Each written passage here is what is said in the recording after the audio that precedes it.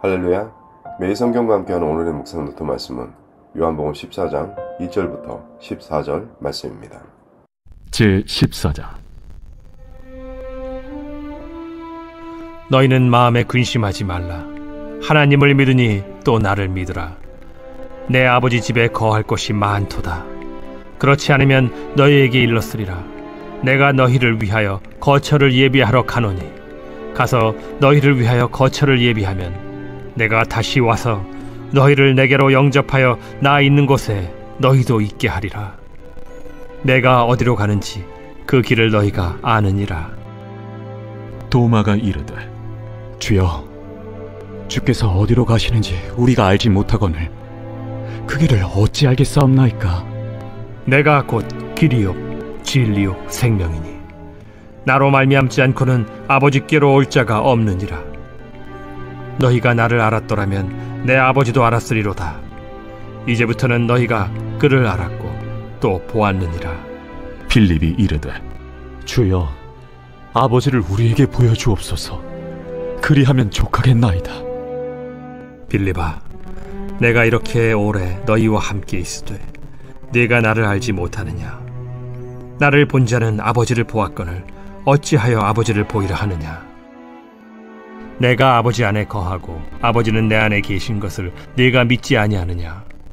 내가 너희에게 이르는 말은 스스로 하는 것이 아니라 아버지께서 내 안에 계셔서 그의 일을 하시는 것이라.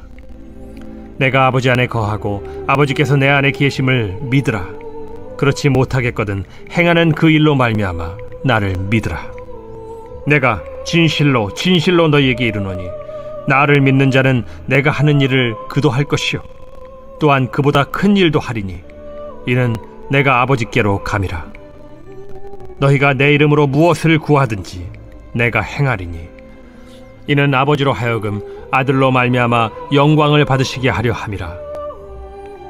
내 이름으로 무엇이든지 내게 구하면 내가 행하리라. 제자들은 예수님이 곧 떠나신다는 말과 가론 유다가 배신할 것과 또 베드로가 부인할 것이라는 무거운 말씀을 듣고 불안해하기 시작합니다. 본문의 1절은 이렇게 말씀합니다. 너희는 마음에 근심하지 말라.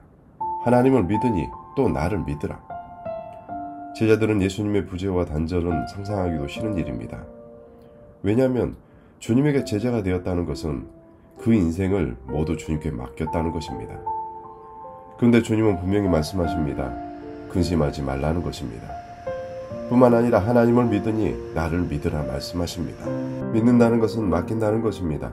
신뢰한다는 것입니다. 믿고 맡기라는 것은 책임을 지시겠다는 것입니다.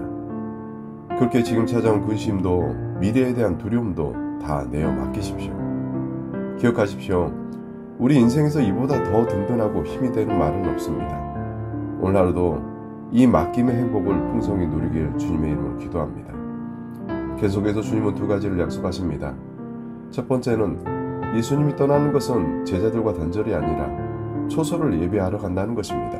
그리고 두 번째는 다시 오시겠다는 것입니다. 뿐만 아니라 하나님께서 다시는 나라에서 제자들과 함께 사시겠다고 약속하십니다.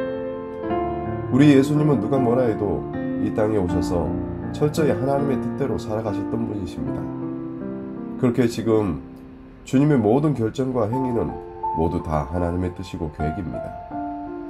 비록 제자들과 그토록 많은 시간을 보내고 주님의 말씀을 통해 가르치셨지만 제자들은 아직 그 의미를 깨닫지 못합니다. 그러나 분명한 것은 자신을 통하지 않고는 하나님께 나아갈 수 없음을 선언하십니다. 기억하십시오.